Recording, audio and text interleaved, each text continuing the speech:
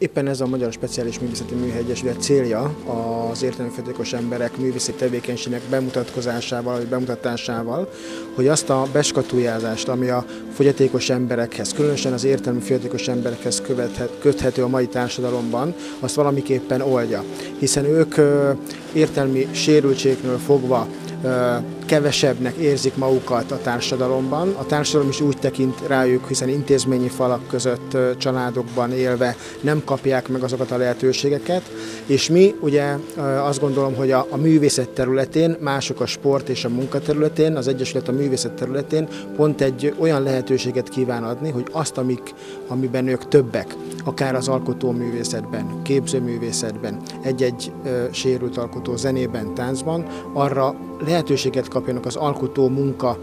kiteljesedésére, hogy a mindennapokban ezt tudják gyakorolni, és egy olyan művészeti, egy olyan művészi szintre eljuttatni az ő tevékenységüket, amely már-már megközelíti a mi szempontunkból mindenképpen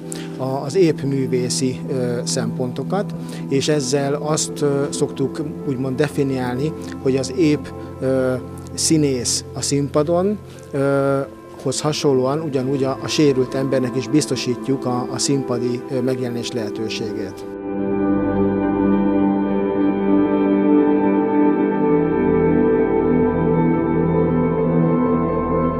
Az ötnapos rendezvénysorozat keretében sérült és épművészek mutatkoznak be az Agórában és a Prometheus Parkban. A színházi előadások, performancek, kiállítások segítségével mutatkoznak meg a fogyatékossággal élők, mutatják be mindazokat az értékeket, melyeket hordoznak.